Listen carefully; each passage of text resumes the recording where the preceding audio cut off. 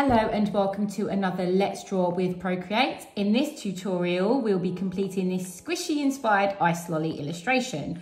I have created a stamp set and colour palette for you to download. The link to those are in the description below. You will need a canvas size of 2000 by 2000 pixels at 300 dpi. And when you're ready, let's draw. Once you've created your canvas, we are going to choose this first colour on the colour palette and on layer one, we are going to drag and drop that colour in. We are then going to create a new layer. We're going to use this colour here and with our selection tool on rectangle and colour fill, you can zoom out a little bit so you've got room around your canvas. We are just going to drop some colour in at the top we are then going to this pink, go back to our rectangle with colour fill turned on and drop that pink on the bottom like so. We are then going to our Gaussian blur under the magic wand tool and we're going to blur that out to around 60% and tap when you are finished. We are then going to lower the opacity down to 70, 70%. You can then merge those two layers together and create a new layer. Then going to choose this color in the color palette. We are going to use our monoline brush. It doesn't really matter what size the brush is at this point. We're just gonna go ahead and draw in a circle. Hold your pen in place, tap one finger on the screen to make it a perfect circle. We are then going to drag and drop that color in. We are then going to our move tool in the uniform option with snapping turned on. We are going to move that into the center vertically of the canvas. You'll see the orange line running down the center of your circle. We are then going to activate our drawing guide under the wrench tool we are going to edit drawing guide, symmetry, and hit done once you are ready. We are then going to liquify under the magic wand tool. And when you adjust on one side, it will mirror on the other. We just want to make our lolly this sort of shape. So flat at the bottom, like a rounded square. So I've got it in push mode. The size, we're gonna have to play around with it. I'm gonna start at around 70% and then just bring that bottom up so it's kind of flat. And then I'm going to bring this one up and then move it out to the side like so. And then once you've got a shape that's similar to this, we can then exit that option and then we can actually remove that line by going to your wrench tool and turning off the drawing guide. We are then just going to move that down a little bit like so and now we want to add the pink drippy frosting on top of our ice lolly. We are going to create a new layer. We are going to clip in mask it we are then going to choose this pink and with our monoline brush, I've got my brush set to 40%. We're just going to draw some squiggles like so and then drag and drop the colour in. And you can actually go to the liquify tool and in push mode and then you can make adjustments, straighten it up a little bit, maybe bring it down until it looks something like this. We are then going to create a new layer and we're going to drag that underneath. It's automatically clipped onto the blue layer. That's fine. We're just going to add some shadows under the frosting. We are going to go to the blending mode of multiply. We are going back to this color here and with our monoline brush maxed out, we're just going to very roughly drop in some shadows underneath our frosting. It doesn't have to be perfect. We are going to our Gaussian blur And then we're gonna slide to the right until we get around the 10% mark and then tap on the magic wand tool when you are done. We are then going to create a new layer, but drag it above the pink frosting. Again, it should be clipped, that's fine. We are then going to double tap here to choose white. I'm just gonna bring down my monoline brush to about 60%, and then I'm just gonna very roughly put in a highlight on the right hand side of our frosting. We are then going to Gaussian blur to around, again, 9 or 10%. And there is our frosting completed. We are now going to add in the face by creating a new layer. We can actually clip in mask it for just in case. And then we are going to choose this color here in the color palette. And with our dots stamp, we are going to go around the 35% mark and then drop the eyeball there. We can then just maybe move it down a little bit and then we're going to create a new layer. We are going to choose this color here in the color palette. We are going to bring that down to around 15% and drop a highlight. We are then going to choose this color in the color palette and we're going to bring that down to maybe 5% and then drop a highlight at the top like that. We are then going to choose this color in the color palette. We are going to our star stamp and I've got it down at 1% and then we're going to drop the star highlight like so. We are then going to create a new layer, but we're going to drag it underneath the eye layer we are going to choose this color in the color palette and with our monoline brush, again, it doesn't really matter the size here. I'm just gonna bring mine down to 40. We're just going to add in an oval, hold your pen in place, tap one finger on the screen to make it perfectly horizontal. And then you can actually just fill that in by hand. And there's our little cheek. We are then going to pinch those layers together with the eye we're going to click on it. We are going to swipe to the left and duplicate. We are then going to move this eye to the left. Something like that looks about right. And then we are going to swipe left and duplicate the cheek. And we are going to move that over to the left as well.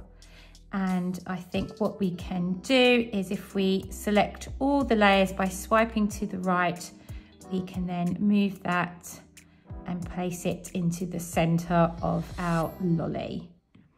We are then going to the top layer, create a new layer, go back to this brown color, and with our monoline brush selected at, I would say 40%, we can then just draw in Actually, let's bring that up a little bit to around 50% and then draw in our little smile like so.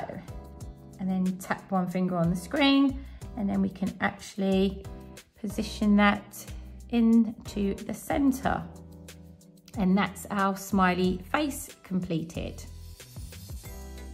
I just want to adjust the shape of the head a little bit. So we are gonna go to layer two and then we're gonna swipe to the right on just these four layers.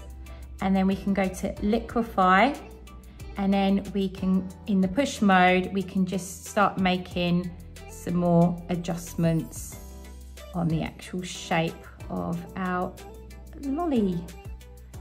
And there we go. And you can hit the arrow tool when you are done. We are now going to add in the little stick at the bottom. So we need to go to layer one. We want to create a new layer by hitting the plus sign. We are going to choose this color here.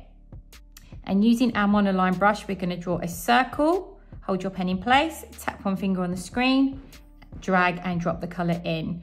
We are then going to move that into, going to move it into the center until you see that vertical line that orange line.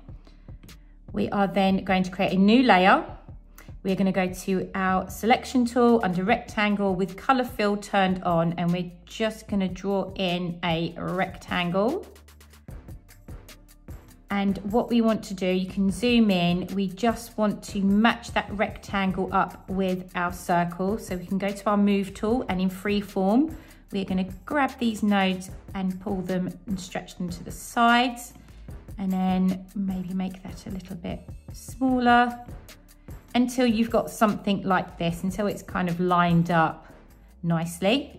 Then we are gonna pinch those two layers together and actually we can duplicate that, go to our bottom layer. We are going to select the blending mode of multiply.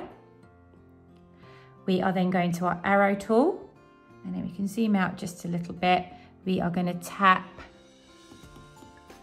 to the left and then down just a little bit to give it some volume we actually want to add some volume here as well. So we are gonna go to layer two, swipe to the right on all of those layers and we're gonna group them. We're gonna collapse the group, we're gonna swipe to the left and duplicate. We're gonna go to the bottom group and we are going to flatten.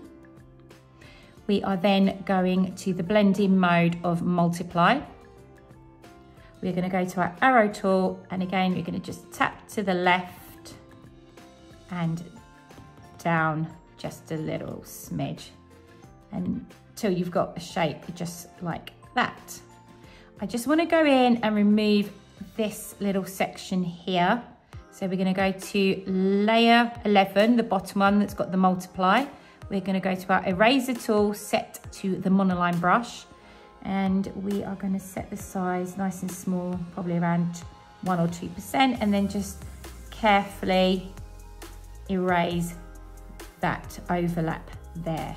I also actually just want to line this up here so we can then go to our layer two with the multiply option. We're gonna go to our move tool, we're gonna go to warp, and then we're just gonna move that up and maneuver it around until it kind of lines up. Again, it doesn't have to be perfect until you get something that looks a little bit like that.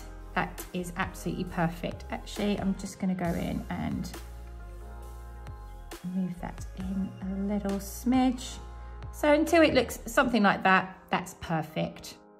We are now gonna add our sprinkles on top of our ice lolly.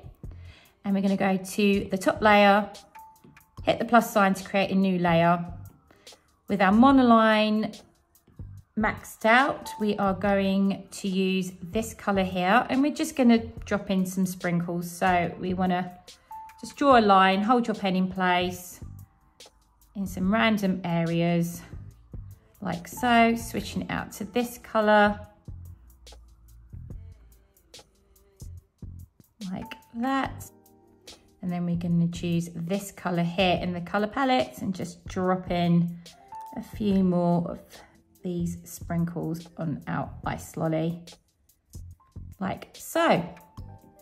We are then going to create a new layer. We are going to clip and mask it to our sprinkles. We are going to double tap here to select white. We're going to bring our monoline brush down to, I'd say around 60%. No, it's still too big. Let's go for 40%. And then we're going to just drop in a highlight onto our sprinkles. Like so. It really doesn't have to be super perfect. You can use the edit option to move your highlights around. Edit shape, maybe stretch that out a little bit. And then one over here. We're gonna go to our magic wand tool, Gaussian blur, and then blur that out to around 7%. We are then going to this layer here. We are going to duplicate it. The bottom layer, we are going to select Alpha Lock. We are then going to go to this color here in the color palette and then tap on the layer and fill. We are then going to remove the alpha lock. We're going to go to our move tool under uniform and then we're just going to tap to the left and down just slightly, a few pixels. And then we're going to go to our magic wand tool. We're going to go to our Gaussian blur and then we're going to blur that out to around 5%. And then let's just lower that opacity down to around 80%. We are now going to select all the layers, but not the background. And then we just, I just want to scale this little fella and pop him into somewhat the middle, just like so. And then go to layer one, hit the plus sign, and with your monoline brush selected, with this brown color, we are just gonna draw a little shadow at the bottom. Hold your pen in place for an oval, tap one finger on the screen. We are then going to drag and drop the color in, and then we can just move it so that we've got it into the center. Something like that is about right. I'm just gonna move it over to the, you can just tap on the screen to move a pixel at a time as well. So something like that looks pretty good. Then we're gonna go to our Gaussian blur under the magic wand tool and then blur that out to around five or 6% and then tap when you are done. We then want to lower the opacity down to around, let's see, 65%. I just want to adjust the shape in free form and then just make it a little thinner. And this is our illustration complete. Thank you so much for watching until the end. If you're on Instagram, please come and tag me in. I would love to see your finished artwork and I will share them to my stories. I'll give you a shout out over there. I just want to say a big thank you to Joel Create for featuring my cute ramen bowls over on his Patreon. I really appreciate that. I'll leave Joel's details in the description below as well. Go and check his IG account. It's absolutely amazing. And with all that said, thanks for watching. Until the next time, see ya.